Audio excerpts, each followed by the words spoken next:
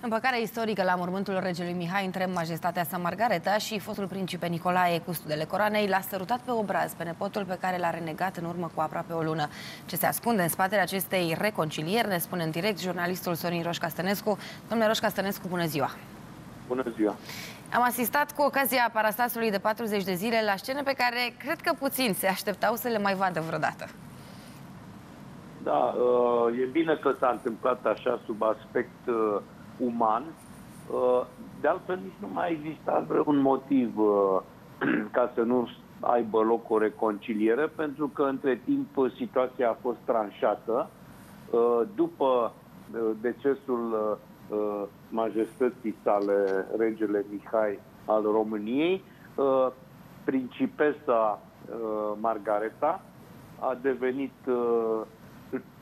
moștenitoarea teoretică a, a tronului, deci custodele uh, coroanei, uh, devine pentru restul membrilor familiei regale majestatea sa.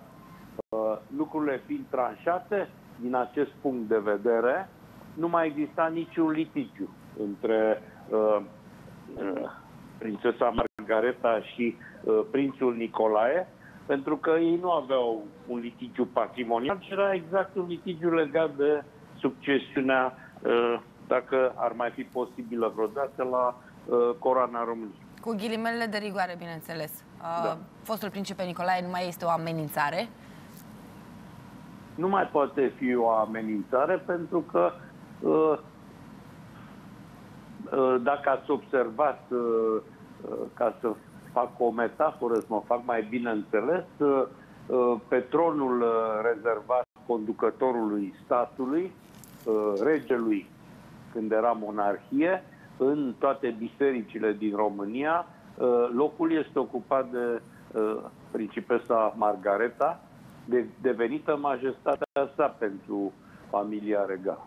Dar această împăcare poate să aibă și o miză, poate una financiară, dacă stăm să ne gândim la uh, averea casei regale? Nici, nici o legătură financiară, nici o legătură? pentru că principele Nicolae nu moștenește nimic.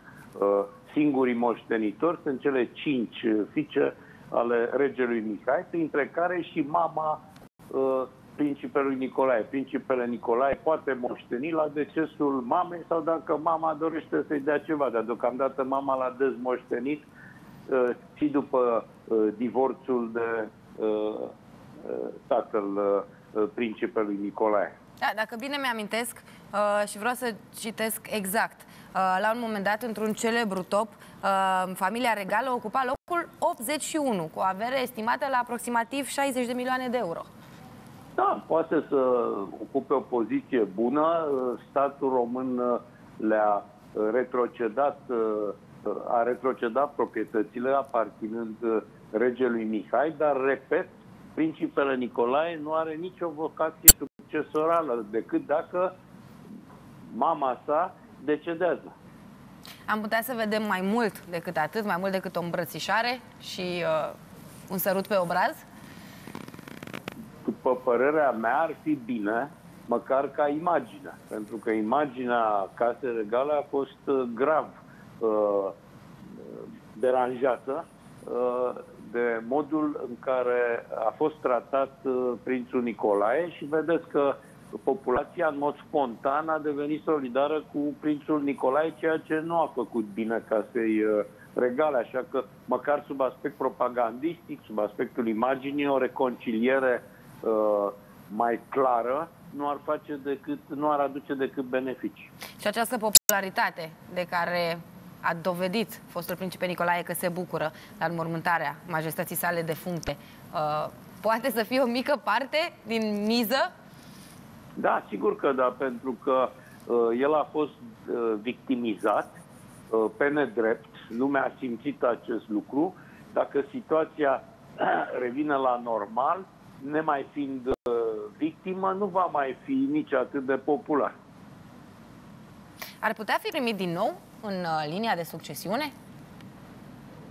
E foarte complicat pentru că familia regală susține, fără să fi prezentat o probă în acest sens, că uh, cel care l-a excomunicat a fost uh, însuși uh, regele Mihai.